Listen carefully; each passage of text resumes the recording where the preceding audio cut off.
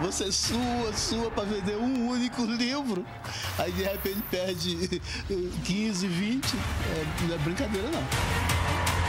Isso não é conto de fadas nem poesia, é história real. Aconteceu aqui no Distrito Federal. Dias atrás, um carro foi deixado na região do Mané Garrincha.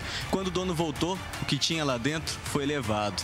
A gente está aqui, ó, com a vítima, que é o Tarcísio. E levaram apenas os livros da minha autoria, né? Que é o Caminhar, recém-lançado, um, um livro com 243 poemas. Já que eu estava participando da quarta Bienal do livro lá no Centro de Convenções Ulisses Guimarães. O prejuízo foi grande para o poeta mais de mil reais somando tudo. Foram levados pelo menos 10 camisetas, 6 livros e 15 cartazes. Perdi o material de divulgação, tive que voltar a Sobradinho para ir na gráfica, mandar fazer os cartazes e os livros e as camisetas foram embora. Os livros são vendidos a 30 reais, a camiseta também a 30. Se você botar uns 30 itens aí entre camiseta e livro, né?